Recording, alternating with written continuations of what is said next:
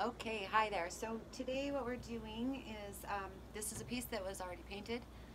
Um, and the customer that purchased it um, didn't want this finish. What she wanted was a finish that I had done on another dresser that she purchased from me a couple months ago. So I'm going to go ahead and try to match this up as close as I can to what I did before. Of course, I'm not real big. Hi, Annette.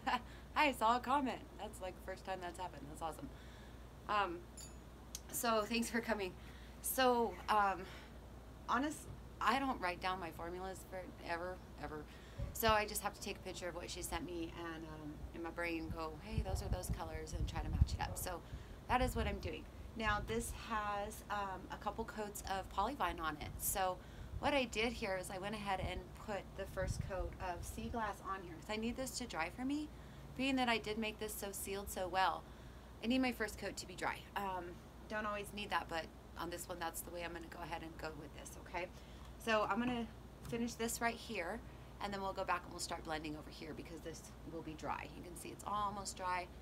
We're gonna go ahead and do that. Um, DIY paints dry super fast, so that is really nice. And I am in New Mexico, we are hot and dry um, for the most part, although it's a little humid right now, but I mean, not bad. It's like 16%, which for us is pretty humid, but it'll be fine. So let's go ahead and get this on here. Thank you guys for coming. Thanks for following me over to, to YouTube. I appreciate you doing that.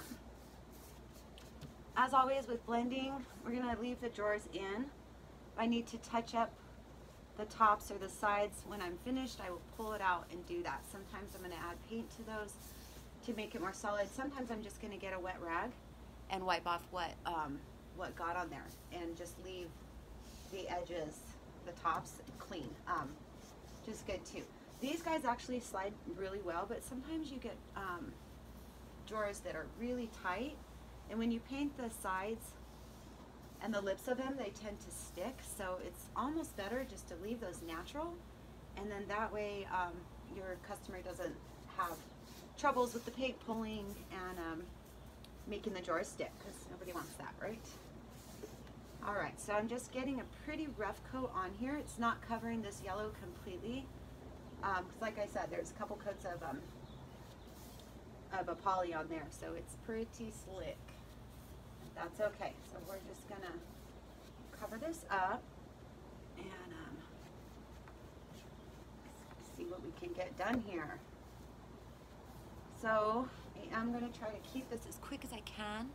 Don't um, want anybody losing interest. So the thing that I've learned with YouTube that if YouTube's YouTube's different than um, than Facebook or anything. So a big part of what they go off of is how long people watch the video. Um, Facebook just goes off how many people watch it. So it, even if you watch for 30 seconds on Facebook, it counts as a watch. So what YouTube does is it actually judges how long you can keep people's interest. So if people are signing off your channel or your, your videos like right away, not watching them, then YouTube is keeping track of that because they're keeping track of minutes watched. So it's a little bit different. Um, so if you ever want to destroy someone's channel, that's what you do. Just kidding. Go on, and then you can just don't watch. You get back off. No, don't do that. That'd be horrible. But seriously, that's the way YouTube works. It's a little different than than Facebook. So, all right. So we have a coat pretty much everywhere of sea glass. And over here, we're pretty much dry. So we're gonna move on down the road and I'm gonna leave my sea glass behind. And I am going to grab my mermaid tail and my coral. And my water bottle, of course. We're gonna use water. So let's go ahead and move on down the road. I guess I'm just gonna sit down here. And y'all see? Okay, everybody's good. So down here, let's see how we should do this, because I don't remember what I did a long time ago. So we're just going to do it. So I'm going to go ahead and dip into my mermaid tail, which is just a darker um, green. I'm going to give this guy a little squirt. And we're just going to start blending and getting this on here. So anywhere I feel like the paint is dragging, I'm going to give it a little bit of mist with the misting bottle which will help me to blend my paint and um, have it move better for me. So these mid-century modern pieces are are definitely different um, when it comes to blending. These ones actually have the rounded drawers on top, which gives you something a little bit to play with, but a lot of them are just straight like this, makes you have to use your imagination a little bit more to get the look that you want. If you're blending, if you're painting solid, whatever, you know. That's easy peasy. Okay, so I covered this up. Got some mermaid tail on there now. I'm to get this part a little better with the mermaid. So the difference between this piece is definitely going to be, and the one that I did for her previously, is that I had um, distressed the other one and wood came out. Well, that's not going to happen with this one because this one is um, very well sealed. So we're going to have a little bit of yellow coming out, which is going to be just fine. And now we're going to go ahead and dip in. I'm still going to use the same brush. And I'm going to go ahead and dip in just a little double D, a little tiny bit. And um, we're going to put that here in the middle and kind of highlight this section with some coral. And with the lighter color being just in the center of these drawers that are sticking out a little bit, it'll kind of make it accentuate the roundness and the curve of of those jars. We add just a little, and again, we're just trying to match this up pretty much as close as we can to what the piece looked like, what the customer wants. So we're not going to be doing any dripping or any um, crazy things because we just wanted to match in her bedroom. I'm just going to kind of keep adding it here and there to give me a little bit of interest and a little bit of love. So not super dramatic, but good. So I am happy with that. Can you guys see? I'm going to pull you over here more. See if I can. Oh, don't fall. How's that? Okay, so now I'm going to go ahead. I'm going to head on down here now.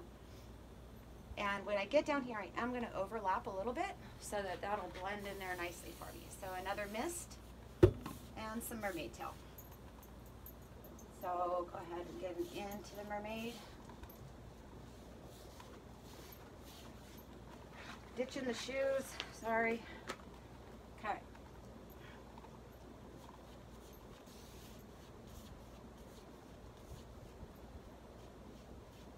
go ahead and go down the sides because as I go around that corner over there, I'm going to want things to match up for me. Again, little misting. You can see how easy the paint goes on, just like butter. And then we're using the nice, the Cling On S50. These brushes are super smooth with their synthetic um, fibers in them, so I don't drop bristles and I don't have brush marks. It's just really, really easy to use. So if you ever want to get good brush, you can get your hand on the Cling On. This S50 is my absolute favorite. I have two of them and I just rotate them out constantly. So another cool thing about the Cling Ons, which I don't think a lot of people don't know this. Um, so anybody who has bought one and didn't know this, here's a little tip. So what you do with these brushes, which makes them a little bit different than your average brush too, is when you're done painting, when it's time to clean your brush, what you do is you take your brush and you rinse out all the water, or rinse out all the paint, so get it pretty much completely out. And then you have a container and you have about yay much water in the bottom of this container, okay? And then you don't use any soap or anything like that. You take your brush and you stand it up in the container of water. What happens is these bristles suck up all the paint from up here and it just falls out. So you keep your brush wet until it's time to use it again. And that is going to um, preserve the life of your brush. Not only does it, I mean, it just helps these brushes so, so, so much, but it's really just a very awesome way to do it. You don't have to get out your, your soaps or anything like that. It just, it just pulls right back out of the little fibers in here. And it's super easy. So even though I sell Cling On, I um I hadn't looked that up, and so I was actually washing my brushes until my friend told me, and I was like, oh. So I went and looked it up, and sure enough, she was right. You don't have to do that with these. So I don't know about you, but I don't like washing brushes. It's not one of my favorite things to do. So just being able to rinse it and put it in a little container of water. What I actually use is, um, you know how you get those dishwashing detergent um, containers? It's like the square box with the plastic lid. Yeah, pretty cool, huh? Um, if you get those, so yeah, the square box like for your um, for your dishwasher it has little tabs in it it's a little plastic square box. What I did was I just cut a hole in that lid and put a little bit of water and then I can stand my brushes up. They don't fall over and um, they just stay. Honestly, they just stay on top of the kitchen sink because I use them so much that I don't even take them back to the garage anymore because it just seems silly. I used to, but not anymore. And um, now that I'm keeping them wet because I can just rinse it, stick it right back in there, and I am ready to go because they don't have to be dry when you use it kind of wing it out a little bit and there you go. Okay. So we've got some coral blended in there. Honestly, I'm not digging that so much. So I'm going to go up here. I'm gonna, just going to make this much more coral all the way around. It just looks too boxy to me. I'm not digging it too much. And what if we went this way? Let's see if we can just blend all this up and down and around just keep dragging really lightly. You don't want brush strokes. I also don't want a box. You see a lot of pieces that are done that looks very boxy like. You can see where they were shading in the middle, um, but it, it's not smooth, like it doesn't, feels like you can see the box that they're going for, and so I, I don't want to go for that. I want it to be more smooth. So I'm going to scoot on over here, because as you can see, this is dry over here now. And I might have to ask my dog to move. Go on. Thank you. And let's go ahead and start up here. So I'm turn this a little bit so I don't sit on it because I am up close and personal now. Okay, so we're going to go ahead and get some mermaid in here try to get all that covered up. Again, like I said, when I'm done, I will pull these out and um, get the edges where I didn't get. Or I'll wipe them off, whichever one it seems more appropriate uh, for the thing. Go around this corner over here a little bit so that when I do get to the sides, my paint is matched and not completely different colors spraying a little bit as they go, which makes our paint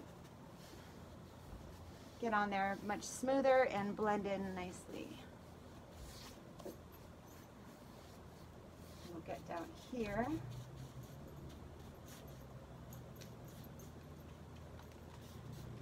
So since I went over a little bit, I can reactivate my paint on this other drawer and drag that back across to make it cohesive and not look like I overlapped like I did.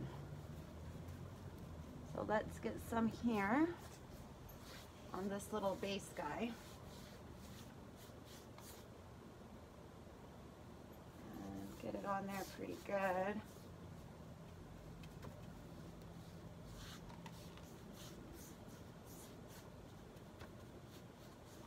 Right, thanks for joining me guys. I appreciate it. If you would, my, my YouTube channel is so, so new. If you wouldn't mind sharing it, that would be awesome. Um, so that I can get more people to subscribe so that I can keep growing. I would really appreciate that. If you don't want to, that's cool too, but always nice to share the love. And I'm working on getting a couple edited videos up. I haven't done one of those in a while, but I will. So I'm going to go ahead and move down some more. A little bit of misting. And let's spray this on here. Not spray it, paint it.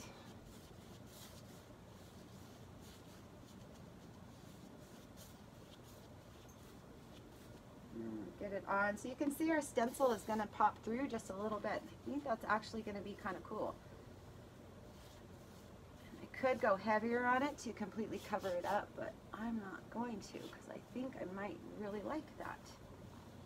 It'll be like a little hidden treasure under there. All right, I'm going to dip into the coral, spray it here, and then spread that coral around. And let's go back into the mermaid tail and go down here. So we're just moving quick, we're keeping everything wet so that we can just keep mixing it up and blending it until we like what we're doing and we're happy with what our end result is. I find that a lot of painting is trial and error. A lot of times when I'm doing work, I like hate it.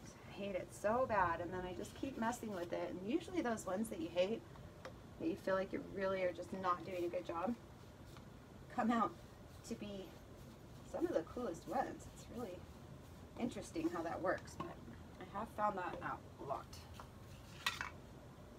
Sometimes the plan in your brain is not exactly what comes out on your brush. I think that's the biggest thing that I hear and I want to just anybody who's starting to paint or thinking about wanting to, you know, don't take it so seriously. It's really just paint, you know, and and don't let, I mean, if you want to be really serious about it, that's fine if that's your personality, but don't let it stop you from doing what you want to do because you, you can paint over it. It's okay. And, um, you know, like I said, I mean, those of us who paint like all the time, very rarely, I think, does exactly what we want to happen and our brains actually come out on that paintbrush. So trial and error, it's learning, all of that fun stuff. So again, we're looking a little boxy, so we're gonna go this way. Don't want any boxes. Just wet it to reactivate it. Go up a little more. And now we'll go back, which should eliminate our boxiness.